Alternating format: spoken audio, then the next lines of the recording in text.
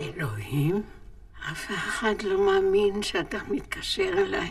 גם בעלך בגן עדן. הוא מוסר לך דש. בעלי? אני רווקה?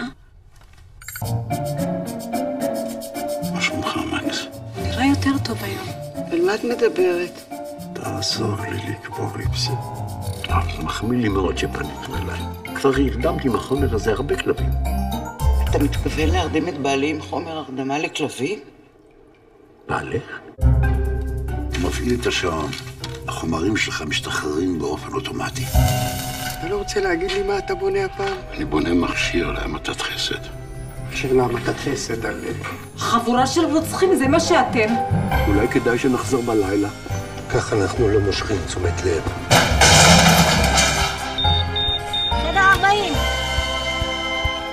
אתה יודע שאתה על 140? זה 750 שקל.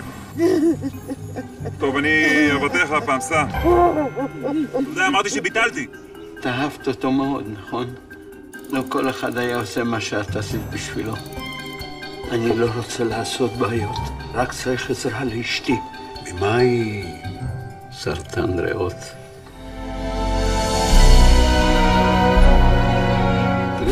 רוצה שאני אעשה? אני רוצה שתרד אליו ושתגיד לו שאתה אולי רוצח, אבל לא רוצח סדרתי.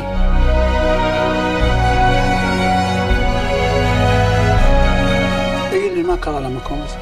השתגעו פה כולם. המכונה הזאת זה כמו כוסות רוח למת.